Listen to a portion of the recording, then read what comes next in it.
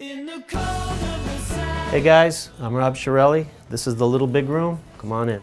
So here are the secret weapons. So the dangerous compressor and the Bax EQ, these guys sit on the mix bus for me and they have for like the last three years. So every record I've done in the last three years has a dangerous compressor and a Bax EQ on it.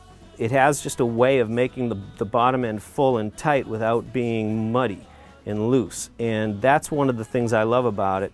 And this box is like a no-brainer, like you gotta have it. I don't know if there are little men dancing on diodes and stuff in this thing, but it sounds incredible to me and it sounds natural and really musical. You know, we want the artist to be happy. If the artist is happy and the producer is happy, you know, it's a game of inches. In, in this gear are those little inches that I want and that I need, and this has made a huge difference in my life. It's just a game changer.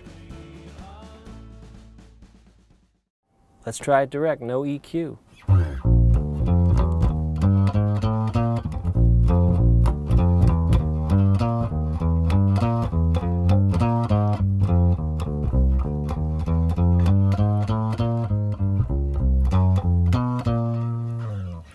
Fret buzz and all, putting in the EQ now.